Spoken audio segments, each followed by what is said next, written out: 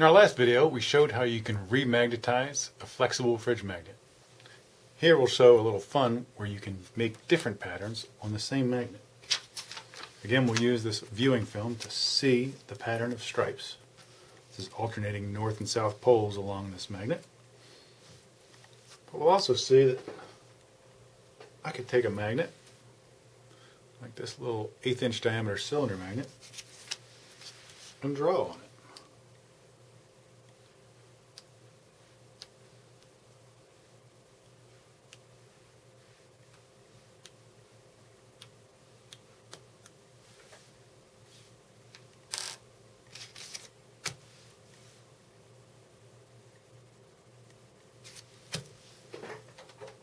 Course, you're not limited to that. We could wipe off this magnetization.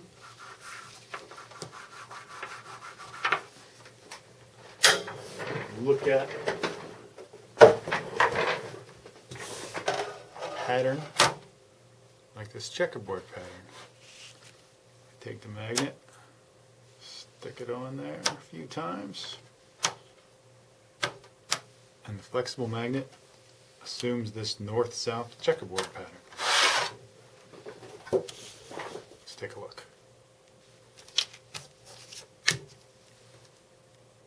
Not very neat, but you get the idea.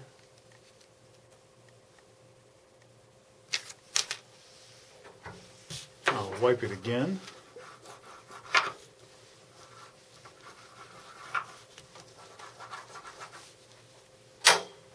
For our last picture, let's try something more fun.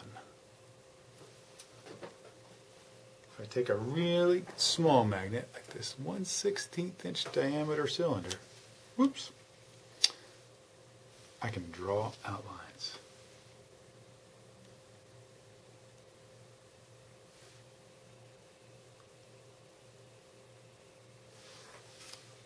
I'll just cut right ahead to one I did earlier. And you can see magnet on a magnet.